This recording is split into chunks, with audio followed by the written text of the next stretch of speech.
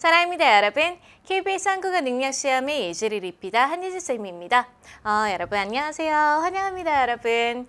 어, 30일 완성 동안 이론과 우리 기출문제를 통해서 고득점을 향해서 나아갈 우리 학생 여러분 정말 환영합니다. 쌤은 한유재 쌤입니다.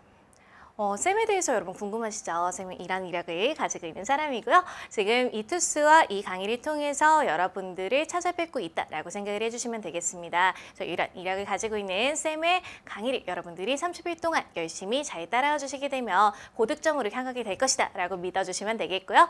여러분들이 지금 준비하신 교재 이렇게 나와 있을 겁니다. 그래서 노란색에 공부하고 싶은 그런 교재다 라고 생각을 해주시면서 여러분들이 와, 이거 공부해야 되겠다 의욕을 이렇게 충만하게 생각해 주시면 보시면 이 교재 같은 경우에는 KBS 한국어진흥원에서 출제한 유일한 교재라고 여러분 생각해 주시면 되고요. 그렇기 때문에 여러분들이 어려워하는 내용들에 대한 이론적인 것들 그리고 다른 데서는 확인할 수 없는 기출문제 같은 것들이 꽉꽉 이제 실려 있다라고 생각해 주시게 되면 압축적으로 고득점으로 향할 수 있는 가장 좋은 선택을 여러분이 하셨다라고 믿어주시면 되겠습니다. 자, 그러면 교재 같은 경우에 이렇게 차례가 나와 있고요. 총 일곱 개의 파트로 나눠져 있는 부분으로 여러분 생겨주시게 되면 이런 내용들이 세부적으로 들어가 있다라고 여러분 확인해 주시면 되겠습니다. 그래서 파트 3 아까 막 이렇게 엄청 길게 들어갔던 거 여러분 확인하셨죠? 그래서 그 부분을 특히 여러분 좀 주목해서 같이 공부를 할 거다라고 생각을 해주시면 되고요. 나머지 부분들 역시 같이 어, 잘 확인을 해보도록 하겠습니다.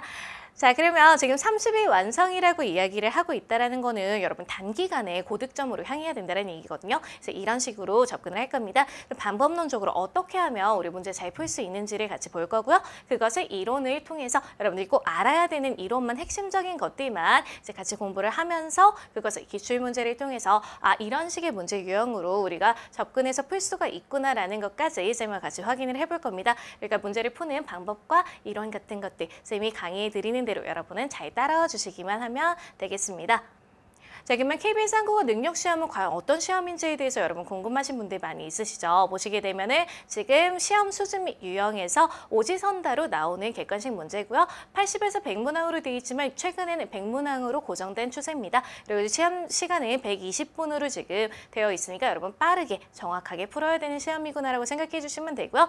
그리고 고등학교 국어 교육 수준이라고 나와 있지만 쌤이 봤을 때는 그거보다 조금 쉬워요. 그러니까 여러분 너무 부담 가지지 마시고 아 열심히 집중해서 잘하면은 내가 잘 볼 수 있겠다 이렇게 생각해 주시면 되겠습니다. 그리고 지금 활용 기관 같은 경우에 언론사 기관, 공사, 대학 같은 것들로 여러분 나와 있는데 주로 지금 이 강의를 접하고 있는 분들도 여기에 필요해서 이 강의를 들으시고 계실 텐데요. 어떤 데 우리가 활용할 수 있는지 보시게 되면 이렇게 많은 부분들을 활용할 수 있다라고 생각해 주시면 되겠습니다. 내가 이 여기서 지금 공부 열심히 해서 등급을 잘 받게 되면은 뭐 취업할 때 유리하겠구나, 졸업할 때 유리하겠구나 이런 식으로 여러분들이 생각해 주시면서 마인드 컨트롤 하시면서 여러분 동기화를 시켜주시면 좋을 것 같습니다. 자, 그러면 지금 시험 영역과 문항 배분 이런 식으로 나와 있는데요. 이렇게 나와 있는 거 좀 보기 편하게 다시 한번 5대 영역으로 정리를 해봤습니다. 지금 문법 영역, 이해 능력, 표현 능력, 그 다음에 차관 능력, 그 다음에 국어 문화 능력 이렇게 다섯 개의 영역으로 여러분들이 생각을 해주시고요. 문법 같은 경우에는 어휘, 어법으로 나온다라고 생각해 주시면 문법 예전에 고등학교 때 공부하셨던 거 여러분 떠올려 주시면 되겠습니다. 자, 그리고 이해 능력 같은 경우에는 이런 것들에 대해서 우리가 해결하는 방법에 대해서 물어보고 있다 그래서 얼만큼 이해를 하는지 에 대해서 평가하는 부분으로 봐주시고요. 표현 능력은 이것을 어떻게 우리가 표현할 것인가에 대해서 지금 객관식을 통해서 살펴보는 부분으로 여겨주시면 되겠습니다. 창의 능력 같은 경우에는 이렇게 여러분들이 생각을 해주시면 되겠죠. 그래서 창의적으로 조금 더 한 발짝 더 나아갔을 때 활용을 어떻게 할 것인가에 대해서 물어보고 있는 영역으로 봐주시고요. 네, 문화, 그 국어 문화 능력 같은 경우에는 이런 느낌으로 여러분 정리해 주시면 되겠습니다. 그래서 내가 국어에 대해서 얼만큼 상식을 가지고 있는지 이런 것들에 대해서 체크하는 부분이다라고 하면은 각각의 비중을 우리 보게 되면 이렇게 볼 수가 있겠습니다. 30, 40, 10, 10, 10 이렇게 여러분이 생각하시게 되면 어디에 집중해서 공부해야 된다 딱 눈에 들어오시죠. 이 부분에 집중해서 같이 볼 수 있도록 할 거고요. 쌤 강의 역시 그 부분에 초점을 맞춰서 전달을 해드리니까 너무 긴장하지 마시고 쌤이 강의해드리는 대로 교재에 나와 있는 대로 잘 따라와 주시기만 하면 되겠습니다.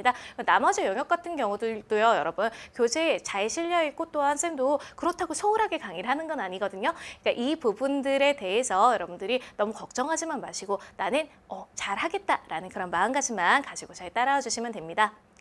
네, 이 시험은 국가 공인 자격 등급이 주어지는 시험입니다. 그래서 발표일로부터 2년간 유효한 어떤 성적이 주어진다라고 봐주시면 되겠고요. 그래서 이렇게 쭉 급수가 나와 있는 것 중에 무급 같은 경우는 모국어 화서로서는 좀 받기 어려운 급수다라고 생각해 주시면 되겠고요. 그리고 나머지 이제 부분들 여러분 보셨을 때 이건 절대 평가가 아니다라는 거 염두에 두셔야겠습니다. 다른 사람보다 좀 더 성적을 잘 받는 것이 중요하다라고 생각해 주시게 되면 지금 이 강의와 이 교재의 공부를 통해서 확실하게 쌤이 여러분들에게 보장드릴 수 있는 성적은 이 부분입니다. 그래서 상급 되게 쉽게 받을 수 있는 급수 같지만 생각보다 이 부분 여러분 받기 좀 어렵거든요. 그래서 3 플러스 급과 2 마이너스 급 이 강의만 여러분들이 들어주시게 되면 여기까지는 확실하게 보장드린다라고 보실 수 보시면 되고요. 그다음에 2 플러스 급 같은 경우에는 쌤이 강의하는 내용을 열심히 공부를 했을 때 보장 드릴 수 있는 성적이다라고 생각해 주시면 되겠습니다. 쌤이 하라는 거, 뭐 외우라는 거, 복습해달라는 거 이런 것들을 충실하게 반영을 해주시게 되면 이 플러스급까지는 어렵지 않게